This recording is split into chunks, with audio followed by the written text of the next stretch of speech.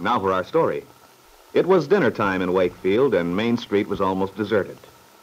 As Bill Meade hurried toward the square opposite the courthouse where he was to meet Peggy Douglas, he was thinking over a conversation he'd had that afternoon with Jim, the bartender at Smitty's. It had been a puzzling and rather disturbing talk. Bill decided not to mention it to the young girl he planned to marry. It was probably just a question of foolish gossip, and, well, there was no point, Bill told himself, in burdening Peggy with it. And yet he couldn't entirely dismiss it from his mind. If it was a joke, this story which connected his name with that of Carla Descari, it was certainly an unpleasant one, and probably the best thing would be to ignore it entirely. Well, now, as Bill cuts across a path toward a shady bench where Peggy is waiting, he is determined to make their evening a pleasant one with nothing to mar it. And yet, as Peggy gives him a faint, welcoming smile, it occurs to him that she, too, has some little disturbance on her mind. Hello, Peggy, darling. Hello, Bill. Been waiting long? No, I just got here a few minutes ago. Oh, that's good. Gee, you sure look nice and cool in that white dress. like a vanilla ice cream soda. I feel like a cup of hot chocolate. I've been over at the dressmaker's all afternoon. There's nothing so tiring as being fitted, especially on a warm day. Oh, well, never mind. We'll have a nice, relaxing evening. And what do you say we drive over and have dinner at that place by the river? Oh, the River Lodge? Yeah. Swell, Bill. I think that'd be nice. Uh, I'll have to go home first and freshen up a bit. I'd be a disgrace to you in my present wilted condition. You look all right to me. But if you'd rather. Yeah, I would. You sure you won't mind waiting while I shave? No, of course not. Okay, then. Let's get started for the good old Wakefield Auto Court. Hey, come to think of it, you've never seen my place, have you? Gosh, I'm glad I had a house cleaning spree last night. I must have had a hunch you'd be coming here soon. Why, this is quite nice, Bill. the way you talked, I thought it'd be terrible. Well, it's not exactly elegant. But I don't mind so much now that I can look forward to our having a nice place of our own before long. Yes. Oh, it's going to be so wonderful, darling. Mm-hmm. Peggy, what's the matter? You sound as if you have something on your mind. What is it? Oh, it's nothing really. I was just thinking of something Emily Ames said today. She the dressmaker? Yes.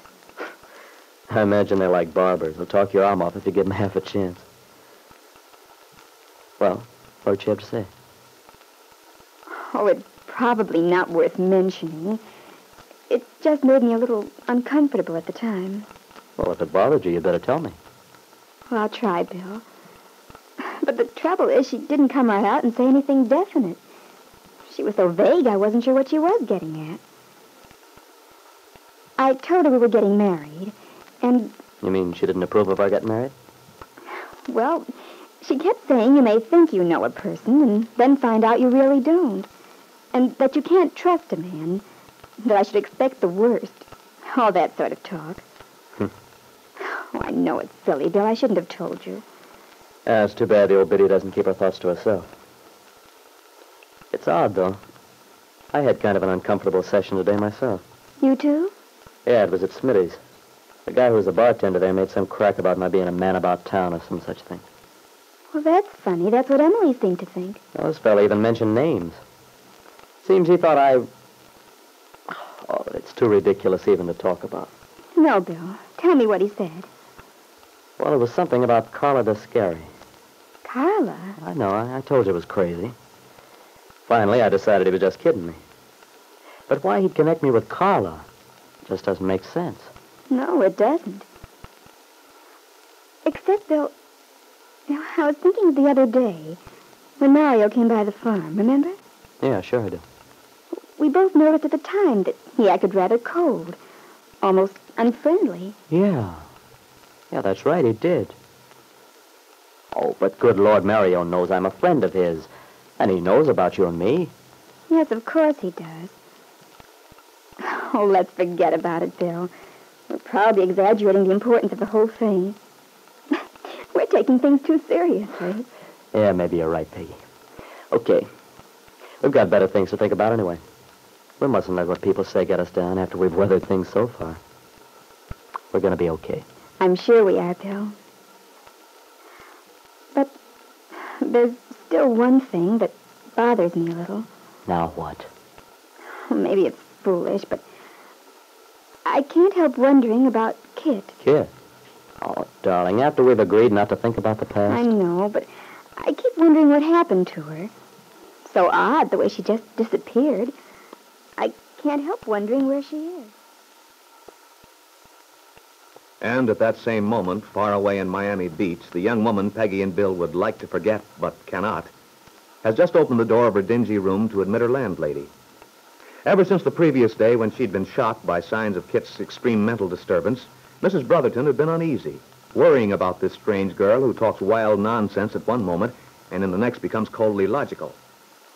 Now, as Kit stares at her defiantly, she says, I knocked on your door earlier, Miss Cummins. I knew you were here, but you didn't answer. What about it? What do you want? Well, I wanted to have a talk with you. Look, Mrs. Brotherton, I've paid my rent on this room. It should entitle me to some privacy. The way you're continually popping in and out, I might as well live in a railway station. If you're as dissatisfied as you seem to be, Miss Cummins, then what I have to say won't bother you at all. Well, suppose you tell me what you have in your mind and let me decide for myself. Well, the fact is, Miss Cummins, I want you to leave. Oh, so that's it. Well, I have no intention of giving up this this dump. You know it's impossible to find quarters in this town. Besides, you have no reason for this attitude. You're all wrong about that. I have my reasons, good ones. Indeed. Well, then perhaps you'd better tell me what they are. Something funny's going on here, and I don't care to be mixed up in it. For instance, the way you acted yesterday. Yesterday? My good woman, I didn't even see you yesterday. I chose to remain here all day, and I saw no one. Absolutely no one. There, that's just what I mean. You don't even remember the wild things you said, the way you acted.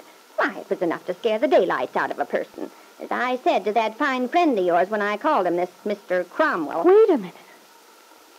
Wait a minute. You mean you had the nerve to telephone Paul Cromwell? I certainly did.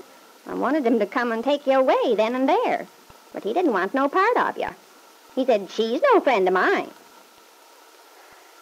No friend of his.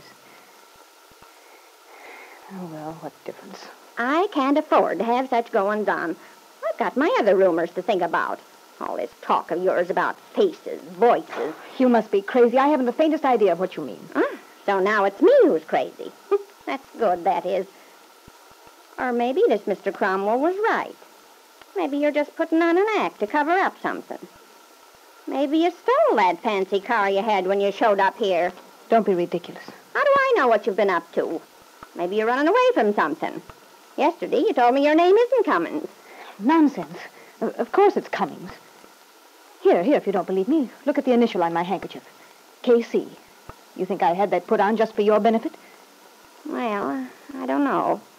You just don't look like a girl who'd come to a place like this all alone without a reason. Look, Mrs. Brotherton, this is getting us nowhere.